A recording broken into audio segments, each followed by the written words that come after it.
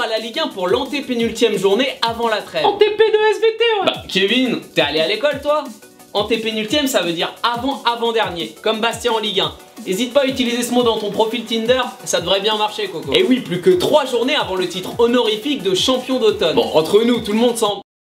Ouais, tout le monde s'en branle de ce titre. Le truc kiffant, c'est de se dire que c'est les vacances de Noël qui arrivent et qu'on va pouvoir s'en mettre plein le bide. Allez, les codes du match pour commencer. Le PSG est largement favori dans son stade avec une cote de 1,36. Le match nul est à 5,30 et Nice 8,25. Question forme du moment, il n'y a pas photo les gars. Ils ont vécu des semaines complètement différentes. Leurs deux semaines, c'était ça.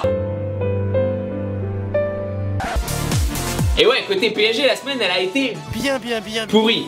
Bon, je vous parle même pas des soi-disant querelles internes et de l'argent de Di Maria qui serait passé je ne sais où. Il serait dissimulé quelque part dans une holding intégrée à une SARL, qui une maison mère, financée par une start-up. Tu portes bien ton nom, Angel. Et tout ça, les gars, c'est rien par rapport à la fessée 3-0 contre Montpellier. Ouais, Montpellier. J'ai cru que j'étais en pleine sieste et que je m'étais assoupi un peu trop. Mais non. Après, ça met un peu de piment à la Ligue 1 et à ma vie aussi. Et à la vôtre. Si comme moi, vous avez mis votre maison sur le PSG champion en début de saison à 1-10. Si Nice ou Monaco finit champion, les prix de l'immobilier, ça se casse la gueule de partout. Bon, et la contre-performance contre Montpellier, tu peux te dire c'est pas grave, c'est juste un match avant la Ligue des Champions, ils ont la tête ailleurs. Ok, c'est noté. Et ensuite tu vois Ludo Goretz, la terreur des Balkans, priver le PSG de la première place du groupe en venant chercher le match nul au parc. En ayant mené tout le match. Là, tu dis qu'il y a un peu péril en la demeure. Et ensuite, quand tu vois Di Maria à la fin du match demander à un joueur si Ludo Goretz c'est un paradis fiscal pour cacher 2-3 contrats, c'est le pompon. Tes supporters parisiens, tu pleures. En plus, avec la circulation alternée, je te parle même pas de si t'as une plaque impair. Bon, après, si t'habites à Paris, t'as un chauffeur et plusieurs voitures, ça va. Et pour finir sur une touche de bonne humeur la semaine parisienne, Ronald redonne le sourire à tout le monde. Pour seulement 5 balles en plus de leur menu d'omac, les supporters peuvent récupérer écharpe et gants. Royal. Les mecs te donnent le cancer tous les jours, mais au moins, tu vas pas choper un coup de froid. C'est ça avoir un grand cœur. Côté niçois, on l'a vu, on est au max. Dimanche dernier, ils ont mis une véritable fessée 3-0 à Toulouse. Personnellement, les fessées, ça me plaît pas trop. Mon pauvre Pascal.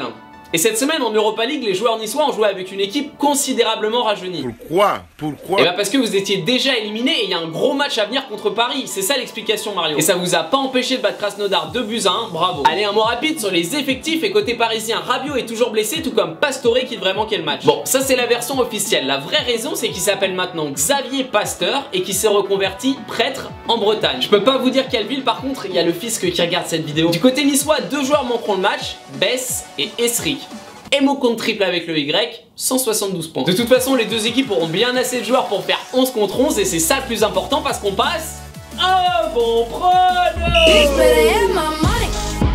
Ce match, c'est un peu Barça-Real.